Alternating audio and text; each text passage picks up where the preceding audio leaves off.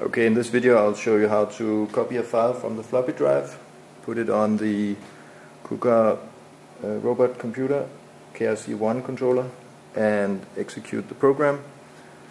Um, we have the emergency button should always be pressed whenever the robot is out, not running.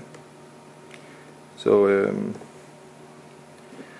okay, I'll go to the uh, up, uh, navigate with the arrows to my floppy disk. And this is an emulated uh, USB running this floppy. So on the floppy we have two files, plasma and Stata plasma cutter, or Stata plasma cut. So I'll take the Stata plasma cut and I'll say right click on the arrow and say copy. I can press copy here as enter or I can press command 4.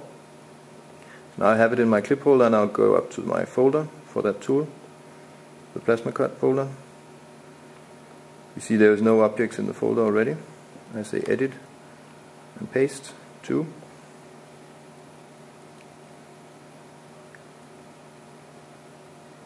And always uh, start testing your program in T1.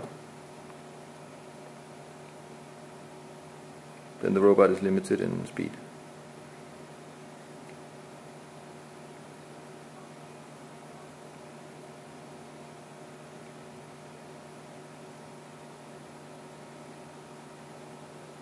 Okay. So uh, to run the program, we can say select, and then we go into the program. I'll just show you how to deselect the program firstly.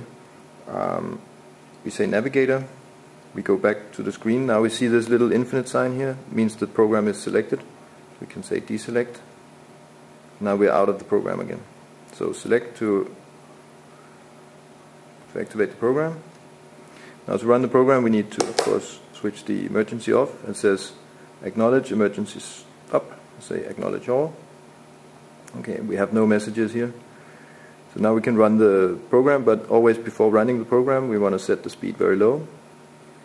First thing the robot is going to do is go to initial position, that's the first line of code. If it's already there, it will.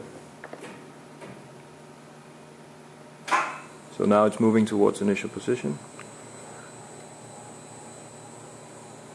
And I can see on my console when it's there, I can see it on the robot as well. Okay, now it's stopped. So I'll release. And now it's important that you check your speed. It's very low.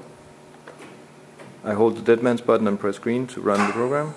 Steps to the first. But now it doesn't move actually, so I just have to release the button and let it move again. And now I can adjust my speed slowly.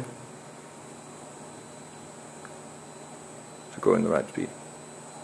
Always let go of the green button before you let go of the emergency button, otherwise the robot will hold and maybe lose some calibration.